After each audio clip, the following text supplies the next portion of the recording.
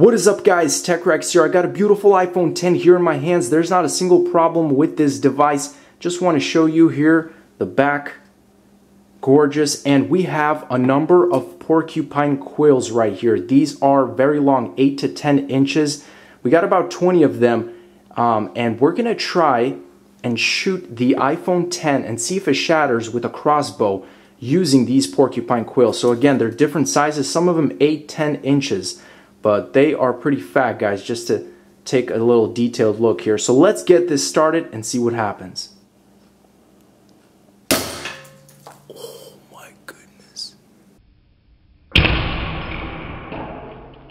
So part of the quill actually got stuck right here in the carpet, but as you guys can see, these things are really, really fragile really did not do any damage at all just a little bit of dust and dirt on the display and that's it. This phone is still 10 out of 10 so let's go ahead amp it up with the real arrow and see what happens. Oh my oh my goodness.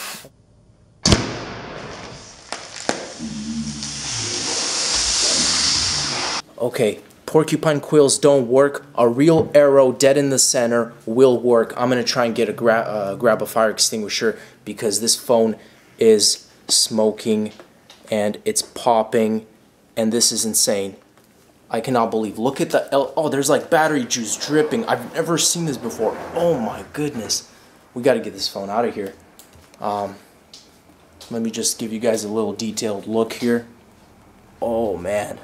Boy, I haven't smelled some of these battery iPhone fumes in a long time, bringing back some memories right here.